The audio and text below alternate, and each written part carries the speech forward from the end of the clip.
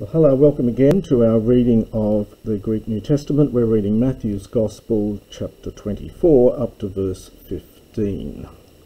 This particular chapter is um, concerned with apocalyptic material, and there are similar pericope in Mark's Gospel and in Luke. Hotan un ideiti top delugma tes eremosios torethen dia Daniel tu prophetu, hestos in topo hagio ho anaginoskon noeto. So we get hotan, which is hotet plus an plus the subjunctive. So whenever, therefore, you might see top delugma tes eremosios. Now in classical Greek, bedelugma is something which is disgusting or hideous, horrible, and this is an abstract noun, eremosis, which is connected with eremos, a desert. This is the abstract noun of desolation. And you'll need to look at the commentaries for this section because it's uh, this it has many different interpretations here.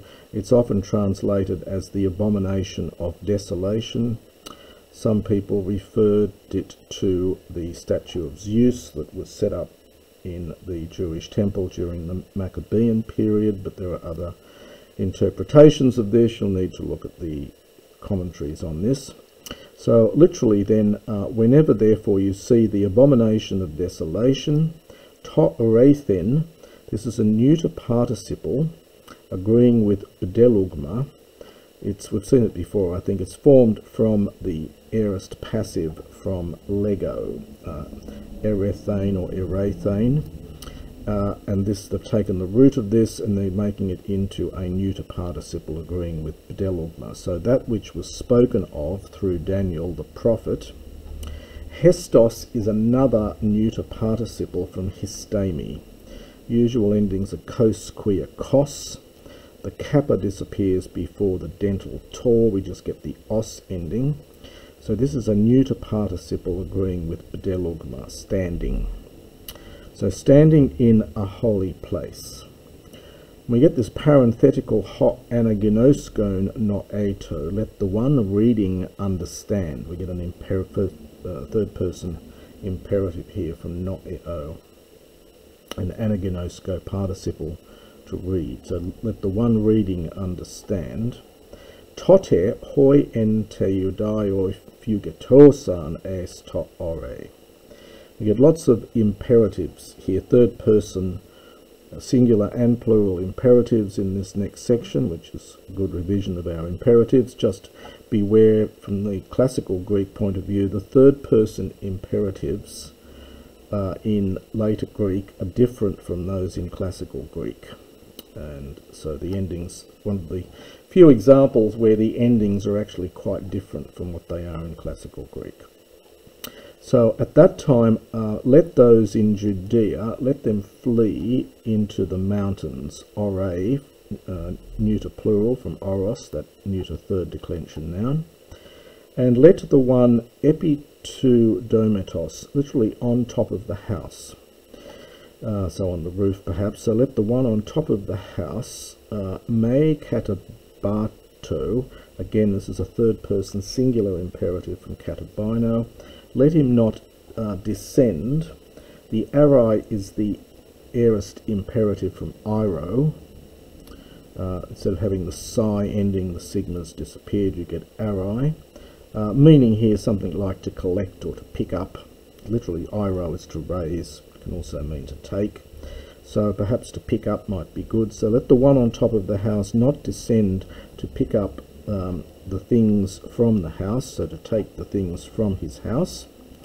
Uh, and let the one in the field, me epistrepsato, again imperative from epistrepho, let him not um, turn opiso back, and there's the arai again, to take his garment, his hemation, which is an inner garment. Now we get this woe, um, uai, plus the dative, which we see elsewhere in biblical Greek. Um, uh, so uai de tais en gastri ekusais, kai tais uh, the uh, theladzusais en akenais tais hemerais. Uh, so woe, li literally to those having understood something in their belly, uh, i.e. womb. So woe to those who are pregnant and those giving suck. We get a feminine participle here. Uh, those giving suck in those days. Um, pros euches there, again, this is a, another imperative, and this one is um, uh, second person. So pray that your flight might not take place, and we get a genitive of time here, during winter, nor, and then a dative, nor on the Sabbath. Now this is an interesting observation here because um, the Jewish Christians still obeyed the Sabbath, but uh, in later times many non-Jewish Christians did not. So this is obviously aimed at a congregation which still observed the Sabbath. Estaiga toti thlipsis megale hoia u gegonin apakes, cosmu heos tu non udi ume genetai. Um, for at that time there will be, estai, future for eimi, a great tribulation hoia such as has not taken place ap arches cosmu from the beginning of the world, heos to nun, up until the now, so up until now, nor may it happen, ume genetai, ume plus the subjunctive for strong negation, kai eme e kolabothes and he hemerai ekanai, uh, uk an esothe pasa sax. We get a very funny verb here. This is kolaboo, uh, which in earlier Greek, it, it's a later word, but it occurs in Aristotle and um, uh, and in Polybius. It's a later word. It means to cut off or mutilate. Often, and very, it's not a very pleasant word. Generally, it was a word that meant to cut off people's feet or hands and so on as punishment. Uh, in New Testament Greek, and it only occurs twice here and in Mark, it means to um, shorten or abridge something, to make it shorter. Uh, so, interesting example of a, a, late word with variety of meanings. So, unless the, those days um, had been shortened, aorist passive, so the verb is kolaboo, it's an Omicron contract verb. Uk an esothe pasa sucks. This is a Hebraism here. Literally, all flesh would not be saved. And so, pasa sucks for just a general anybody. So, no one would be saved. Uh, dia detus electus, and we get that verb again, kolabotesontai, hi hamera ekanai. Uh, so, um, we have here? Um, oh, on account of the elect, these days, those days have been shortened on account of the elect, the chosen ones. Toti ian tis humin ape, and uh, at that time, if someone might say to you, Idu hori ho Christos, behold, here is the Christ, or hori, there he is, me pistuete, do not believe. So we're getting may here plus the subjunctive for an, uh, in place of imperative. Uh, Ege theson tai gar pseudo Christoi, kai pseudo prophetai, kai dosus in semea megale kai terata hosti planesai edunaton kai tus electus. This is a New Testament word, of course, false messiahs. Um, so for false messiahs and false prophets will arise. They use the aorist passive here just for the normal future. It's really um, just translated as though it were um, active. So false prophets and false messiahs will arise, or perhaps causative will be caused to arise uh, kaidosusin, they will give uh, great signs and terata, this is the neuter plural from teras, Uh, third declension noun. Portents, wonders. Hosti planesi, we get that plena uh, verb again, so as to lead astray a dunaton, if possible, even the elect, the chosen ones. Idu pro hereka humin. Behold, I have said this uh, to you pro beforehand. Hereka, of course, perfect from Lego. Ean un eposin humin. Um, therefore, if they say to you, Idu ento eremo estin, behold, he is in the desert, may exelthati, do not go out there. Uh, Idu entois temeois me pistuete. Um, this is a very vague word. It can mean chambers, it can mean a storage room.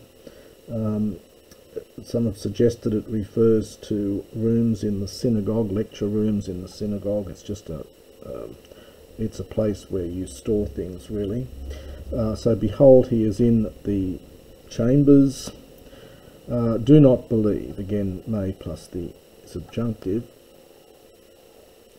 Hospega he astrape ex ercatai apo anatalon kai finatai heos dusmon.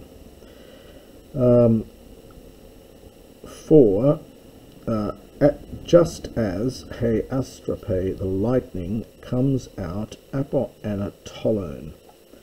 Now we get anatolon and we're going to get dusmone here. This is connected with anatello to rise and it refers to the rising of the sun and hence the east. And Dusmon is connected with duo to set. And so this is the setting of the sun and hence the west. Uh, so as lightning comes from the east and appears uh, until the west uh, so from the risings and the settings understand of the sun thus the parousia the coming of the son of man estai will be Parousia is formed from parami.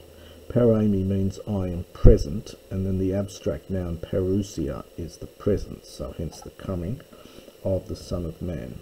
Hopu ean a to ptoma eke sun ag uh, sun tai hoi a etoi. Um, this is a, a strange word here, ptoma.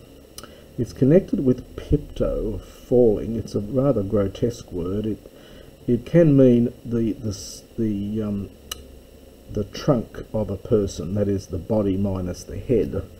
And I think the original idea was you chop off someone's head and what falls to the ground is the trunk. And that's what this is here. It's often just translated the body or the dead body, which is probably the softer meaning here. Um, so it's literally wherever and then eon for an, wherever the dead body might be, there the eagles, the aetoi, uh, will be gathered. Uh, aorist, sorry, a, a, future passive from sunago. So rather uh, grotesque metaphor here. Um, Heos de meta ten thlipsin ton hemeron canon helios Scottish Theasetai. Now you can see by the way the editor has set this up that this is uh, meant to be poetic in some sense. It doesn't scan, but it's meant to be poetic or some sort of quotation. It's not in dark, so that means it's not directly from the Septuagint, but the imagery is taken from various Old Testament texts. Uh, so immediately after the tribulation of those days, the sun, Scotis Theasetai, will be made dark. Skotos is darkness. This is from Scotisdo to um, to make dark, and this is the future passive here, will be made dark. Uh, kai heselene udus udose to fengos autes, and the moon will not give its light. Fengos is a third declension noun, a noun. Uh, kai asteres pesuntai apotu uranu, and the stars will fall from heaven. Kai dunames ton uranon salutesontai. The so the stars will fall from heaven. This is the future from Pipto. It becomes Pesumai in the future. It goes into the middle. The high the powerful ones of the heavens. This refers, of course, to the sun and the moon, often referred to as the dunames. So the the rulers of the heavens, the powerful ones of the heavens. Uh, salutesontai, again future passive from saluo, to shake, they will be shaken.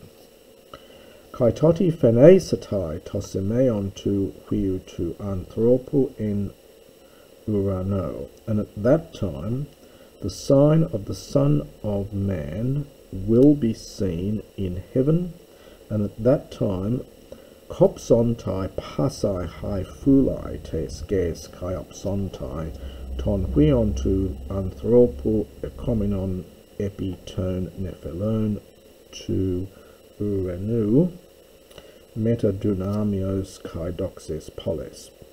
Um, now the verb here is copto. This is the future copsontai in its middle. Copto is to beat, in the middle to beat oneself and hence to lament or wail. The um, in ancient times, people often beat their breasts in anguish, and that's what's come, what's happening here. So, and at that time, all the uh, Fulai, the tribes of the earth, will lament or will wail. Kai opsontai, and they will see the Son of Man, participle coming upon the clouds of heaven. And again, this is a quotation from the Old Testament, uh, with power and much glory. Kai aposteletus angelus autu metasalpingos megales. And he will send, this is future from apostello, you can see it's future by the accent in one lambda. Uh, so he will send his angels metasalpingos, this is from salpinx, a uh, which means a trumpet. So with a trumpet, with a great trumpet, uh, kai episunaxusin, and they will gather together from episunago to selectus the, uh, his elect from the, literally from the four winds, uh, ap acron uranon heos tone acron outone. This is idiomatic here. It's literally from the corners of the heavens until their corners. So we might just paraphrase that from one end of the heavens to the other.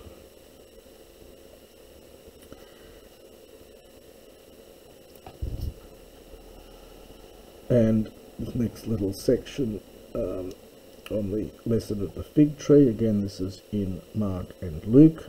Apodetes sukes mathete ten parabolen. So learn, imperative, aorist imperative from Manthano, from the, uh, sorry, learn the parable from the fig tree, from the fig. Hotan ade hoklados autes genetai hapalos kai tafule ekfue genos gete hotiengus ta theros. Whenever um, at that time the uh, the clados, uh, its branch genetai might become hapalos. This is supple or perhaps soft or supple. And the fula, the leaves, ekfue, neuter plural singular verb, uh, might grow out. Uh, you know that totheros engus, this is the third declension noun, the summer is near. Kai hutos kai humes, thus also you, hotan ideati pantatauta, whenever you see all these things, Hotiengus estin epithuras. You know that uh, it is near at the, the doors. Amen lego humin hoti ume parelthe hegenea aute heos an panta tauta genetai. Truly I say to you that this generation in no way will pass, will, will not in any way pass away until Pantataut, all these things, neuter plural singular verb, might happen. Well, again, you need to look at the commentaries on this because the generation did pass away. Um, various interpretations of this. Ho uranos kai hege, the heaven and the earth, paraleucetai, from para which we get twice here. This is the future, here's the aorist. So heaven and earth will pass away, but my words will not, ume plus subjunctive, in any way pass away. And that's the second part of chapter 24.